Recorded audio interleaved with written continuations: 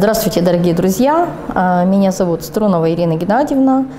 Я проработала 30 лет в традиционной медицине, врач-анестезиолог-реаниматолог.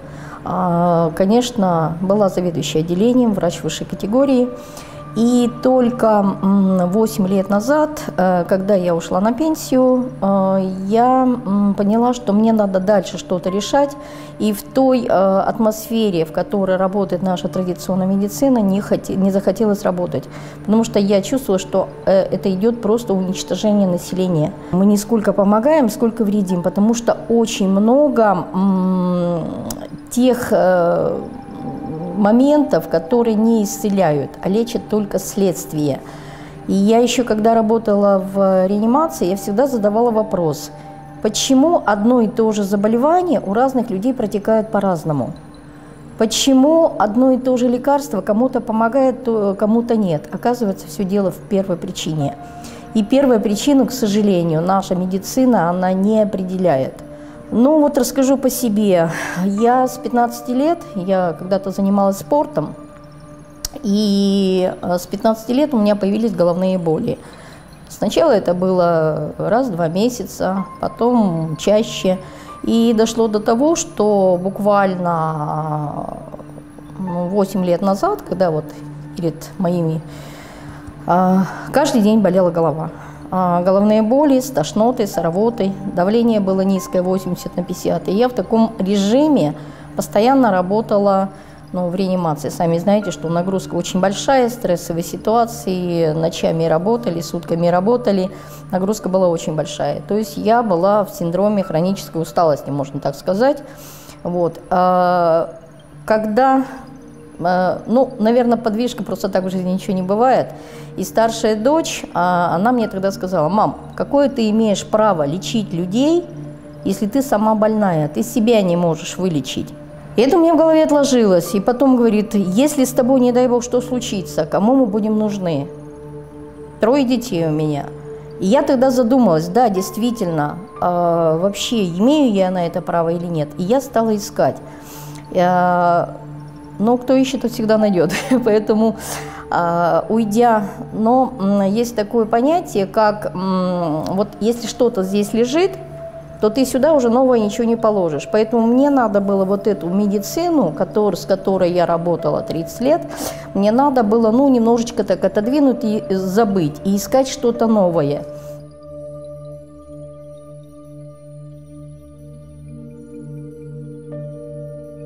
Через какое-то время а, мне позвонила моя коллега и сказала, Ирин, пошли зарабатывать на паразитах. Я уже была тогда на пенсии, и мне это интересно стало. Думаю, это как? Я пришла на конференцию, я услышала про биорезонанс. Мне это стало понятно, что я действительно получила те знания и ту информацию, которую я долго-долго искала. Вот. Тут же мне сделали диагностику, на нашем профессионале, на дето-профессионале, и сказали, что причина моих головных болей – это э, паразит в сосудах головного мозга. Я сказала, ура, наконец-то я нашла. Хотя по традиционной медицине я проходила очень много исследований, анализов, целый курс, э, проходила целые курсы э, каких-то определенных лечений, там, значит, и капельницы, и уколы, и таблетки, но помощи никакой не было, то есть эффекта не было. А здесь, благодаря а, вот этим знаниям, естественно, я сразу купила наши приборы. Я теперь их называю нашими, потому что я понимаю, что действительно это а, ну, наверное, восстановление тех э, возможностей организма, которые нам дает ну, Вселенная, Бог или кто как, кто как это подразумевает, что мы э, начинаем ощущать то, что мы должны ощущать, как мы должны себя вести. И вот так вот потихоньку-потихоньку э, я прошла обучение на профессионале, а, и что хочу сказать, у меня, когда я прошла обучение а, в Зеленограде, И у меня была возможность, какой купить прибор. Был выбор, что купить и на чем остановиться. Как правильно, а, ну, действительно помогать людям. Где есть какие погрешности. Почему именно вот этот метод, почему этот метод. Чем этот метод отличается от этого. Вот заложено, допустим, в этом приборе с компьютером, которые связаны, а, какое-то определенное количество программ. Ну, частотная характеристика, там, допустим, 2000, 5000, да, и компьютер это просто все считывает, считывает, но, а, опять же, в том режиме, то иногда бывает, э, ну, частота прошла, а она не зацепилась. И бывают погрешности. И, а когда ты на профессионале работаешь, ты, естественно, уделяешь. Допустим, что-то тебе не нравится, что-то ты там сомневаешься, ты перепроверяешь.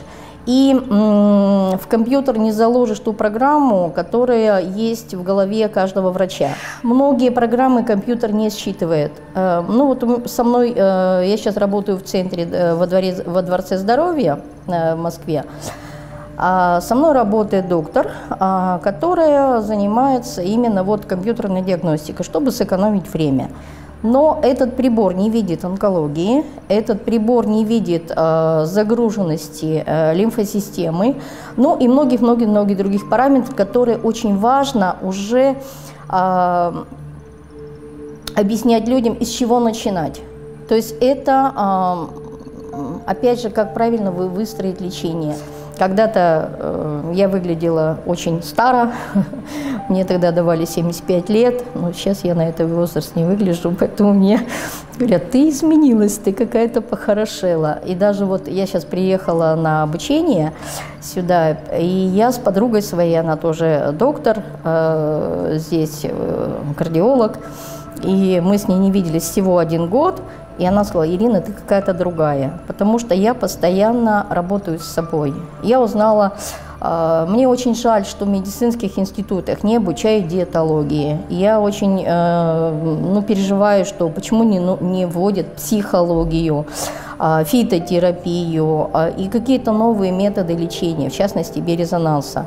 Поэтому вот наша традиционная медицина, к сожалению, ушла в то русло отравления химией. То есть мы ушли от природных лекарств, которые раньше были пятикопеечны. Мы еще тогда на фармакологии а, изучали, значит, э, такую-то траву, все писали по латыни, такую-то траву столько-то, квантум сати, как говорится, да, такой-то травы столько. То есть мы делали сборы и какие-то ну, растворы, настойки. То есть сейчас этого абсолютно нет. Сейчас все нацелены только на лекарства. А лекарства – это химия. Мало того, что экология а, наша оставляет быть лучшим, а питание, которое мы тоже постоянно потребляем, напичкано и ГМО, и всякие фастфуды, и консерванты, и красители, плюс тяжелые металлы. Вот это все, это все идет зашлаковка организма.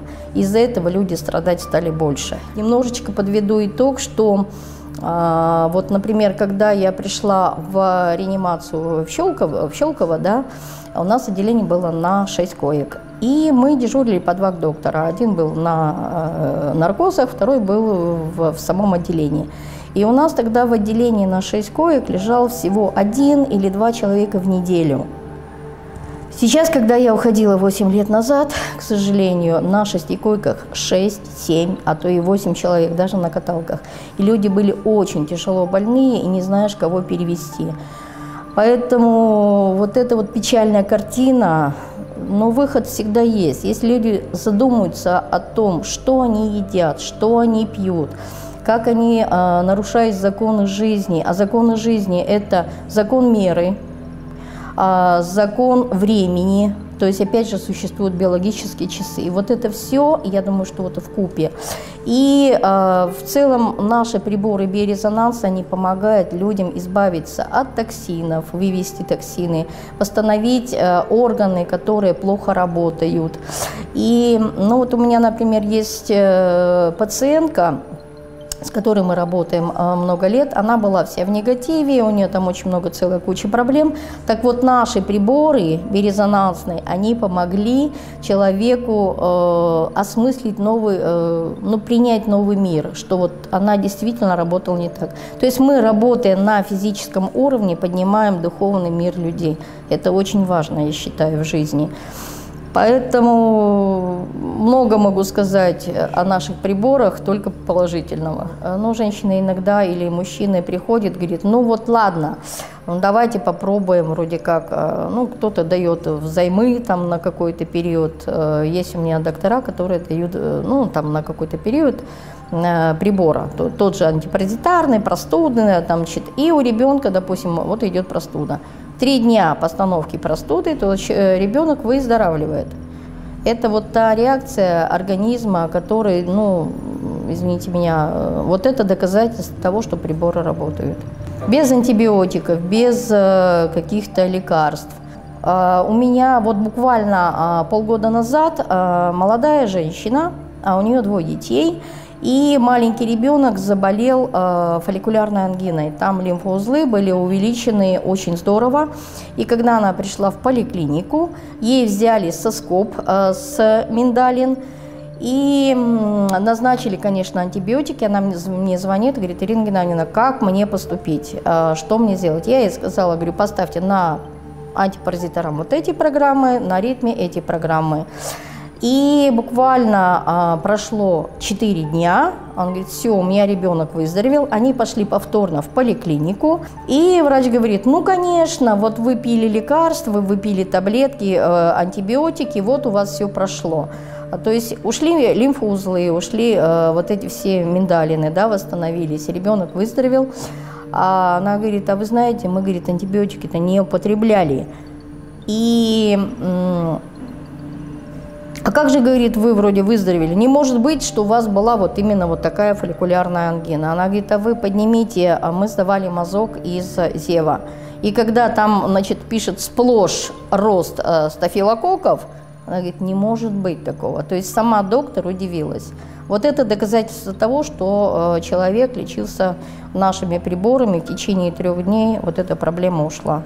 Поэтому я считаю, что это медицина будущего. И это надо людям рассказывать. Уходить от той медицины, но она уже жила свое. Все должно развиваться. Очень много было случаев, э, когда мы ну, исцеляли людей. Ну вот, например, Э, язвенные болезни, кисты уходили.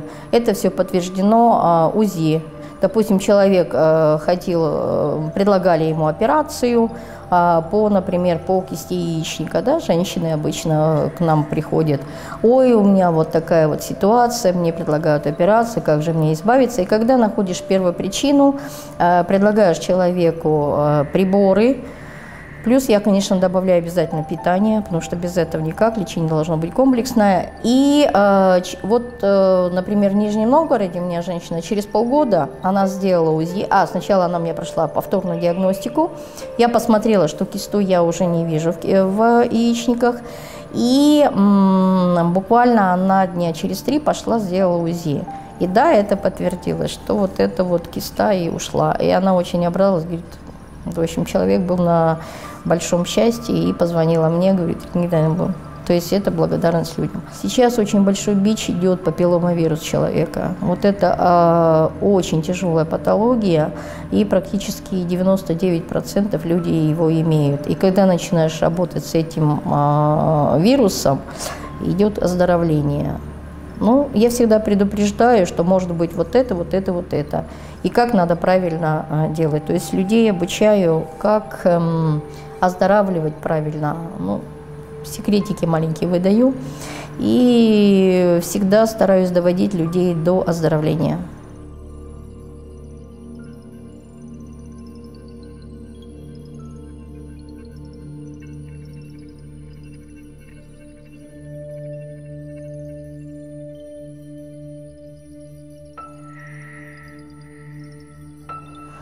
Коллеги, которые остались в традиционной медицине, а, вы знаете, по-разному. А, вот, например, в Щелково меня не слышат коллеги, к сожалению.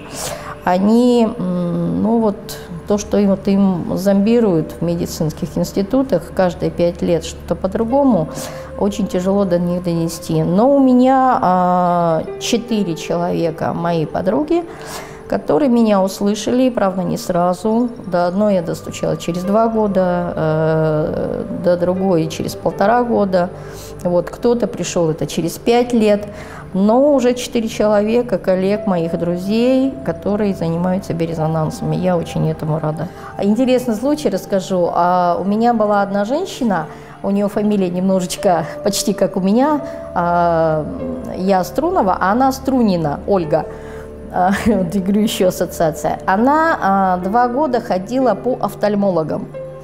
И когда она обратилась ко мне, она говорит, Ирина Геннадьевна, я, говорит, ходила по всем своему э, по поликлинику, в институт Гельмгольца, то есть вот э, очень много она прошла офтальмологических клиник, и она говорила, «Э, посмотрите, у меня в глазах кто-то ползает. Она это ощущала и чувствовала. И все, глядя на нее, женщина в возрасте, э, посмотрев на нее, все говорили, крутили э, у виска, ну, вам надо к психиатру. И получилось, в конце концов, она ко мне пришла уже в черных очках, она на свет смотреть не может, она очки сняла, у нее отечность, естественно, у нее гиперемия, то есть конъюнктивит какой шел. И а, я говорю, ну давайте протестируем. Я ее протестировала, и я нашла у нее, а, есть такой паразит филярий э, филариоз.